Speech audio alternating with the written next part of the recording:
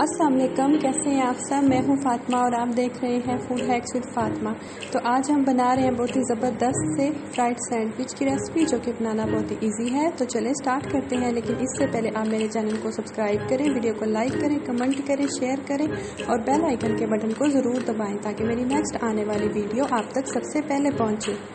तो चले शुरू करते हैं। बिसमिल्लाम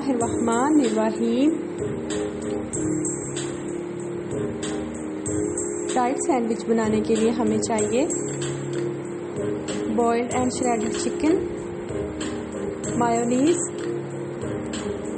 corn, शिमला मिर्च, टमाटर, नमक,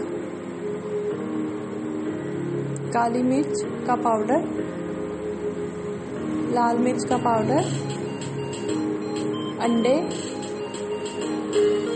bread crumbs bread slice soya sauce एक बाउल में लेंगे चिकन उसमें ऐड करेंगे शिमला मिर्च, साथ ही ऐड कर देंगे कौर, साथ ही ऐड कर देंगे काली मिर्च, लाल मिर्च, नमक और मायोनीज़ अब इनको मिक्स कर लेंगे। ये हमारा स्प्रेड तैयार है। अब इसको ब्रेड के स्लाइस पर हम स्प्रेड कर देंगे और ऊपर से एक और स्लाइस रखते जाएँगे। अब एक प्लेट में अंडा फेंट लेंगे। उसमें ऐड करेंगे सोया सॉस और इसको अच्छे से फेंट लेंगे। पैन में ऑयल गरम करेंगे। पहले ब्रेड के स्लाइस को अंडे में डिप करेंगे। फिर ब्रेड क्रम में कोट करके फ्राई कर लेंगे।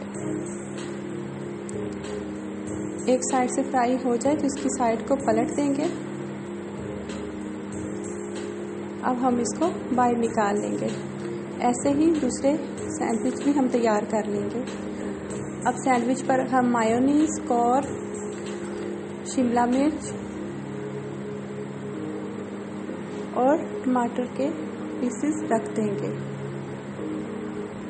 फ्राइड सैंडविच तैयार हैं तो चलते हैं फाइनल लुक की तरफ़। आप सब मुझे ज़रूर बताइएगा कि ये रेसिपी आपको कैसी लगी। आप सब अपना बहुत सारा ख्याल रखिएगा और मुझे दुआ में याद रखिएगा। अल्लाह हाफिज़।